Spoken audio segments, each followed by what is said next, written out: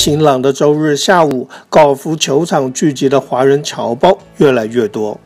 休斯顿台湾松年学院许胜宏院长利用扩音器洪亮的声音，催促参赛者赶快集合拍摄大合照。他赶着良辰吉时要完成开球仪式。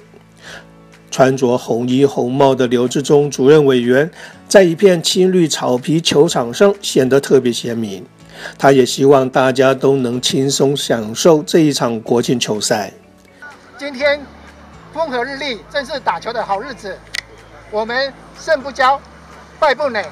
希望在这星期天愉快的下午，享受一场高尔夫球之赛。开球时间越来越近，罗富文处长在匆忙中宣布了为大会带来的加码奖项，立刻迎来全场一片欢呼声。特别加码三瓶高瓦蓝，三个红包给咱们。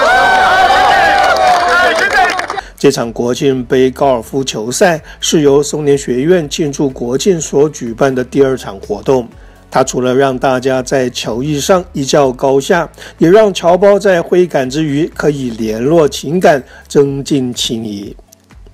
第一次出席这一项活动的休斯顿侨教中心副主任黄依丽，希望大家都能有个好成绩。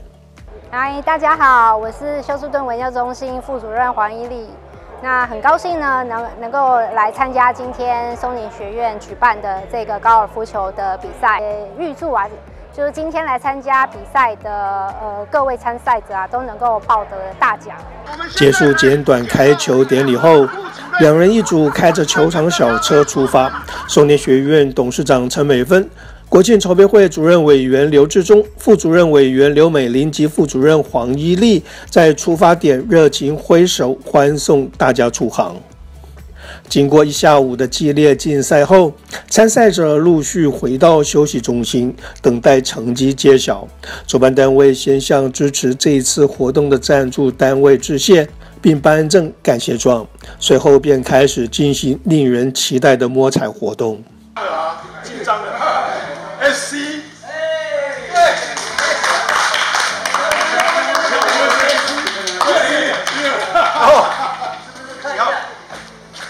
傍晚斜照的暖阳，伴随迎面而来的凉风，特别在四周环绕绿地的球场，让人有股置身世外桃源的感觉。另一方面，大会宣布优胜成绩及摸彩得奖人的宣告，让大家的心情充满期待又开心。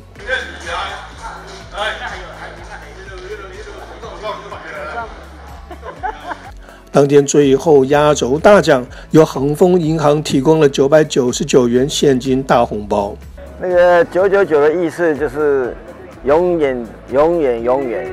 的意思这样子，就像恒丰银行的住址哦，是在九九九九四个九在往本类尔的意思，也是希望事业各方面都永远成成长，永远走走下去这样子。这个让人心跳的奖项，最后也由提供人吴文龙董事长亲自抽出幸运得主，由参赛选手翁杰忠教授独揽大奖。真的是。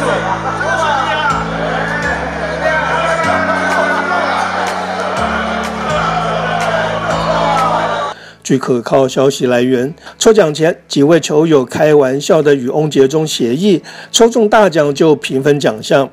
洪杰忠则不发一语的用笑脸回应，显然心中已有中奖预感，自己将成为当天最幸运的得奖人，也让这一场赛事在欢乐气氛中开心落幕。